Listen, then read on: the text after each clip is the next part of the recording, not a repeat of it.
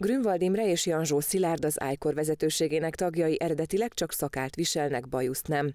A cég egészségnapján merült fel az ötlet, hogy meghirdetik a dolgozók körében a Movember alapítvány felhívását, és bajuszt növesztenek a prostatarák elleni küzdelem jegyében. Húsznál is többen döntöttek úgy, hogy félreteszik a borotvát egy hónapra.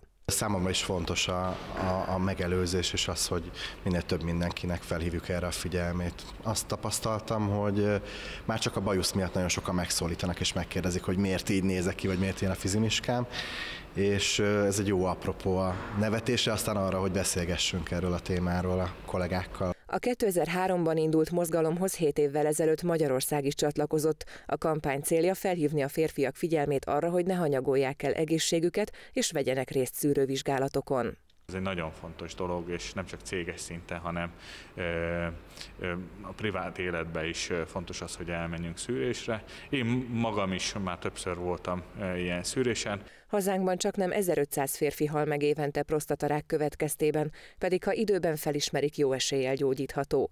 A betegség kialakulásának esélye a kor előre haladtával nő, ezért fontos, hogy 40 év fölött rendszeresen vizsgáltassák meg magukat a férfiak.